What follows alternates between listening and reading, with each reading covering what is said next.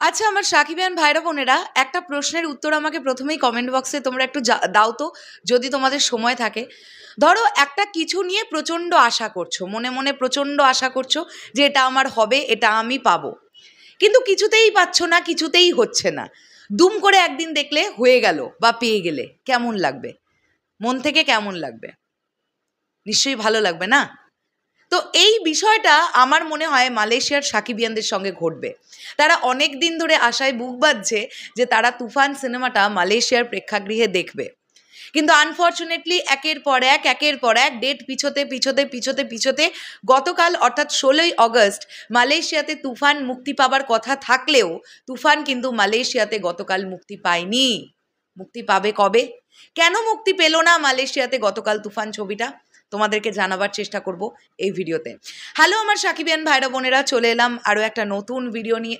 তুফান এখনও বাংলাদেশের বিভিন্ন প্রেক্ষাগৃহে চলছে।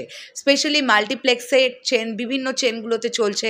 তোমরা যারা যারা দেখতে চাও, অবশ্যই গিয়ে তুফান দেখো। এবং তুফান কিন্তু আমি আবারও বলছি, বড় পর্দায় এনজয় করার মতন একটা সিনেমা এই সিনেমাটা কিন্তু তোমরা ছোট পর্দায় বা ওটিটি প্ল্যাটফর্মে তো ডেফিনেটলি দেখবে যখন আসবে। বাট বড় পর্দার সেই ম্যাজিকটা কিন্তু কোথাও গিয়ে তোমরা মিস করবে। তাই বলছি, যদি কেউ এখনও এরকম থেকে থাকো যে তোমরা বড় পর্দায় তুফান দেখোনি, তোমরা অবশ্যই গিয়ে বড় পর্দায় তুফানটা দেখে ফেলো। এবারে আমরা আসি মালয়েশিয়ার কথাতে। বন্ধুরা, গতকাল মালয়েশিয়াতে তুফান মুক্তি পাওয়ার কথা থাকলেও গতকাল মুক্তি পায়নি সেন্সর জটিলতার কারণে। এমনটাই জানাচ্ছে আমাদেরকে বিএমআর অর্থাৎ Bengali movie review sorry Bangla movie review Facebook page তারা বলছে, তারা এই পোস্টটা এখন থেকে সাত ঘণ্টা আগে করেছে। আমি বাড়িতে ছিলাম না বেসিক্যালি শনিবার দিনটা আমি বাড়িতে থাকি না, তোমরা হয়তো যারা রেগুলারলি আমাদের ভিডিও ফলো করো, তোমরা জানো। তো তারা লিখছে, গতকাল মালয়েশিয়ায় মুক্তি পাবার কথা থাকলেও সেন্সর জটিলতার কারণে মুক্তি পায়নি তুফান। তবে পরিবেশক সূত্রে জানা গেছে যে, এ সপ্তাহেই সেখানকার প্রেক্ষাগৃহে দেখা যাবে সিনেমাটি।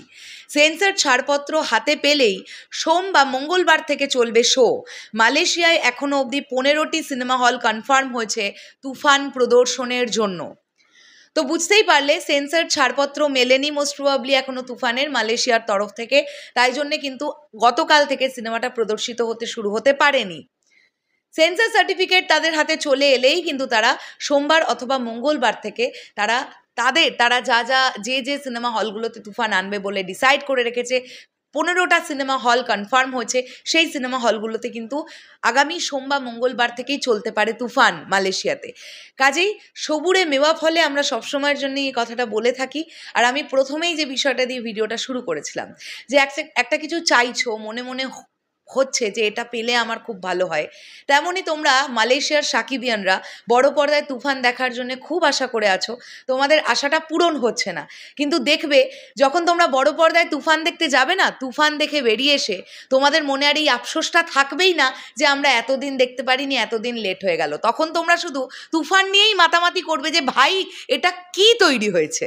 এটা কি বানিয়েছেন রাইগান রফি? এটা আমরা কোন শাকিব খানকে দেখতে পেলাম? সো শেষ করলাম ভিডিওটা। দেখা হচ্ছে আবার খুব শীঘ্রই নতুন কোনো ভিডিও নিয়ে। তাহলে এখনের জন্য সকলকে টাটা।